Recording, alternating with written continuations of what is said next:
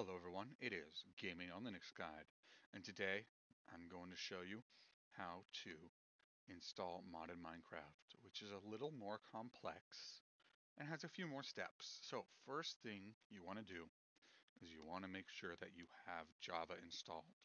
So to do that, Java dash version, and if you have it installed, it'll come up looking like this. Otherwise, you can do sudo apt update or your Linux distro equivalent, and then do sudo apt install default-jdk. But I already have installed, so I don't have to do anything else. Next up, you're going to want to get your browser open and search MultiMC, which is a Minecraft instance manager which means you can install lots of different kinds of Minecraft. So you want to download and install, but you want to make sure that you download the development version because it has a lot of very helpful new features. You can extract it anywhere you like, but I am going to extract it to my desktop because I am going to do that too so I can show it off to you and I can show you how to install it. So here we go. I just extracted it. And now you've got this. So this is pretty hard to use. But you can always do this with the terminal. You can do dot forward slash multi MC, which will of course start it, but I will show you a much easier way to do it then. So I know American English, so I'm going to click that. It should detect your Java if you have it installed. And you're probably you're going to want to change this right away to probably about half of your RAM. So I have 16, so I'm going to go 8096. Next. You can enable analytics, which will help them, you know, figure out any bugs, which I usually do. And then it opens. Now, it's really annoying to have to open terminal and yada, yada, yada. So what you can do is you can create a launcher and name it something like MultiMC. Now, the working directory is going to be MultiMC. So you need to make sure you pick that one. And the command will be dot forward slash multi. I don't know why I keep adding a C there. MC. Create. Alrighty, it is over on my other screen. So here it is. So if I double click this now, it opens up right away. Now, the next part is pretty easy. You want to go to settings, account. It's like, hey, there's no new account. You click add, and then you log in to your Minecraft account, uh, which I will do right now because I want to show you what to do. So here we go. That's a Minecraft account, email, and then I've got, we go, this much memory allocated, and there we go. Okay, so next up, you want to do add instance. So there are two ways that you can install Minecraft mod packs. You can go to curse mod packs and you can you probably want to browse this anyway because otherwise you don't really know what a mod pack is about and that makes it a lot harder to enjoy it because you want to find one that you really really like so I am a little bit of a fan of this one, but I also really like Minecraft Eternal. And but all the mod 6 is on the latest version, which is pretty cool because it has like the Nether update. And then if you want, you can click this button. You don't have to click install, download. You can click got it. And there we go And once we do that, we go to our downloads and you can drag, oops, you can drag and drop it right there. It'll say import from zip. You can click OK. And then it will extract the mod pack, which may take a while because first it needs to figure out what mods are included and then it has to download them all, which depending upon your internet can take some time. So right now it is downloading mods.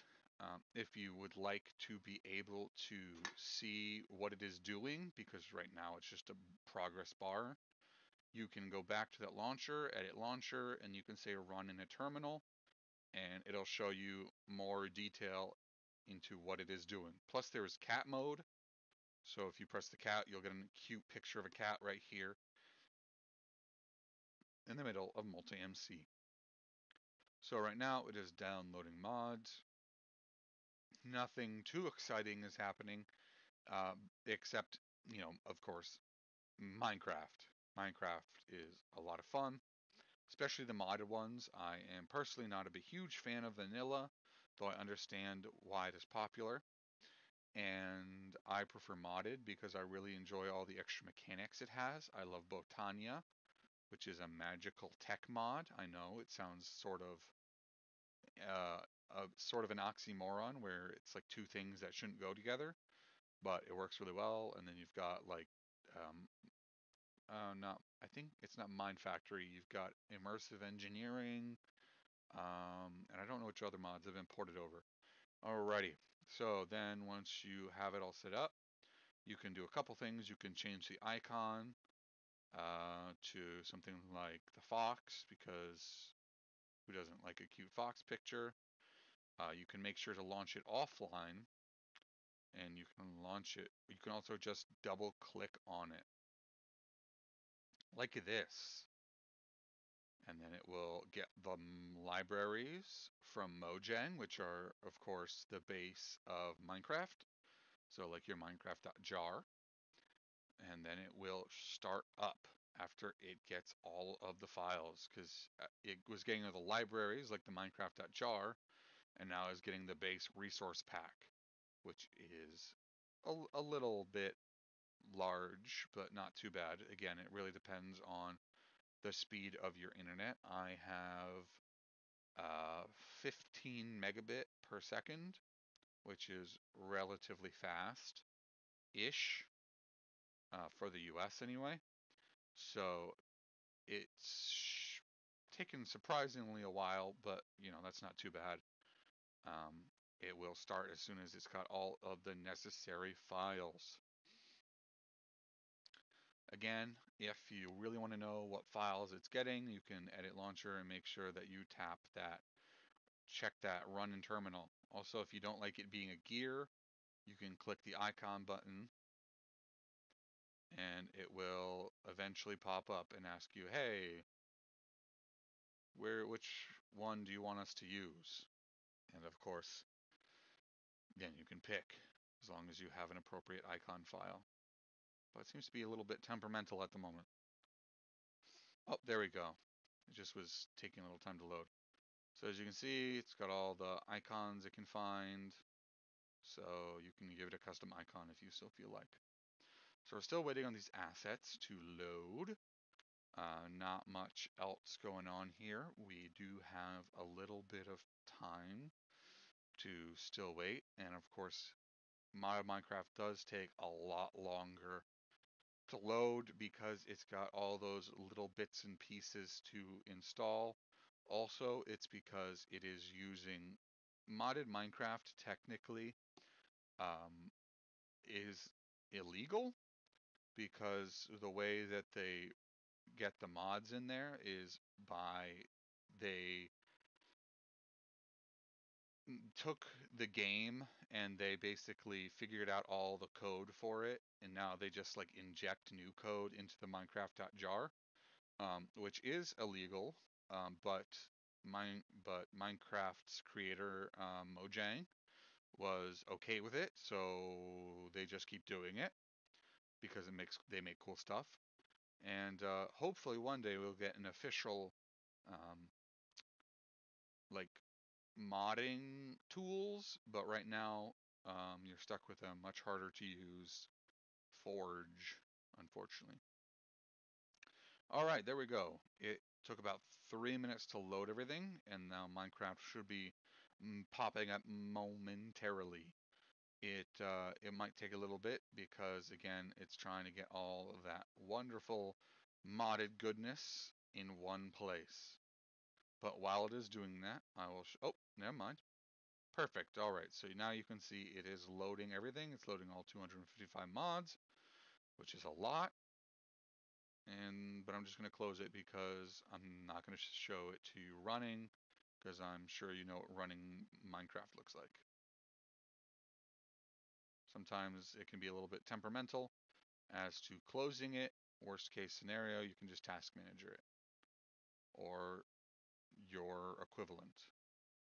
And kill. Yes. Alrighty. So it'll probably pop up with like a, uh, hey, this crashed. Yeah, right there. Crashed. Don't, but we don't have to worry, thankfully, because I crashed it intentionally. Oops, I accidentally closed it. Okay. Now, the reason I had you get the development version is because it's now way easier to get mod packs. So you've got AT Launcher, FTB, Technic, and Twitch. These are all websites that host mod packs.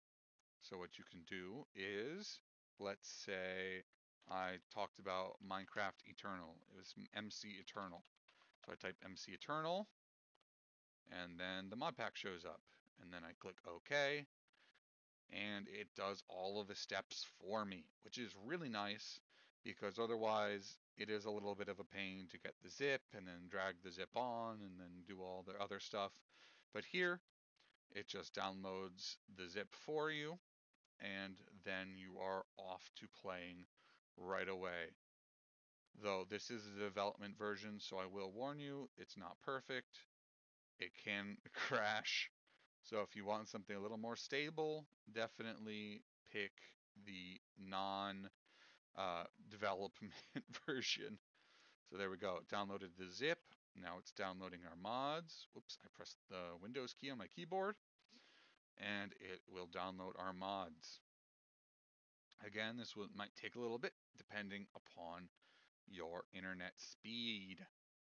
Now we just wait until it is all done. And in the meantime, maybe get yourself some water because water is really important, staying hydrated. And you just wait a little bit. It shouldn't take too long. Just chill, relax. Think about all the fun you're going to have in Minecraft, especially with mods because it's crazy and there's a million things to do now. And then it'll download. It's going to keep downloading loading. And it's almost done. And come on. Oh, it's almost done. Yay! And it even uses a the right icon based upon the one found on Curse. So that has been this tutorial. I hope it helped. And as always, like and subscribe if you like it. And have an excellent day.